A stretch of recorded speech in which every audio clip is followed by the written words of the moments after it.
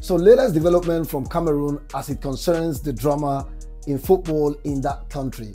Let me quickly say a big thank you to a follower of mine who is Cameroonian, Bowen24, who has been giving me all of the updates from Cameroon, exclusive details of things going on between the Fecafoot, Marc Brys, and the Ministry of Sport.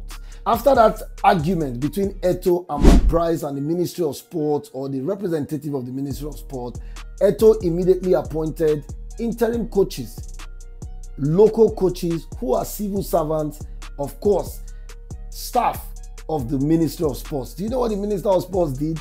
He immediately employed a policy of intimidation by immediately transferring these local coaches.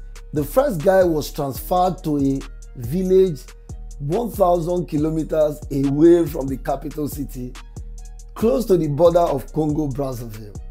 And look at the village where he's now coaching. To almost from almost coaching the national team to this village. And of course, look at the bus that they used in ferrying him to his place of work. A dilapidated bus. Now, the second guy was transferred, his name is David Pagu.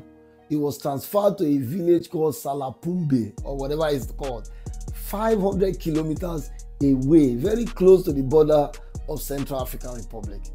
Having done this, the president of Cameroon decided to wade in for the sake of football in Cameroon. So he instructed Marc Brys to go to and have a working meeting with the president of the Fecafoot, which is Samuel Eto'o, with his two assistants only.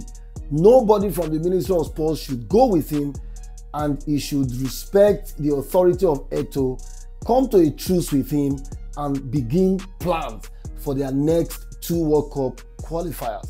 So a meeting was held between Eto and Marc Brys, and of course, Eto apologized to him for the way he spoke with him.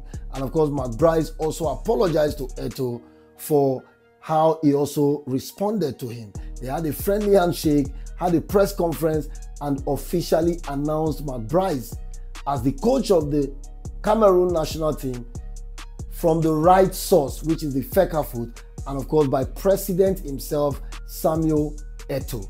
Now, take your mind back to that argument. You saw where Eto'o was exchanging words with the man in suit. That is the man representing the Ministry of Sports. That is exactly where the problem is coming from. So Eto'o's fight wasn't against Marc Brys. Eto'o's fight was against the powers that be, who are trying to control Eto'o, control football in Cameroon, obviously because football is where they earn a lot of money from government. But since Eto'o took charge, he blocked all the loopholes where they steal money from government, and that has been the biggest problem.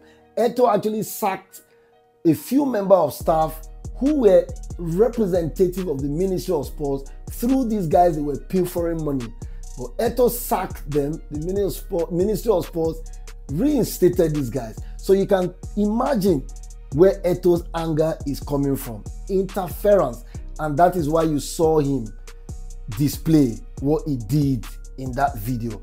And again, he wasn't because of Marc Brys, but he wanted Marc Brys to understand that they may have appointed you, but you work under my authority. And of course, now they've come to a truce, had a meeting instructed by the president, and he has been told to respect the authority of the president of the Fecafoot, and that is Samuel Eto. So I want to say congratulations to both of them.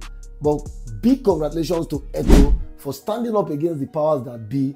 Otherwise, his authority as the president of the Fecafoot would have been trampled upon and he will have no say over a coach coaching the national team of a country he presides over. So Eto seemed to be the winner here because the president has instructed the coach, albeit appointed by the Ministry of Sports, to respect the president of the Fecafoot. So credit to Eto for such a good fight. So congratulations to Eto'o, congratulations to Marc Brys.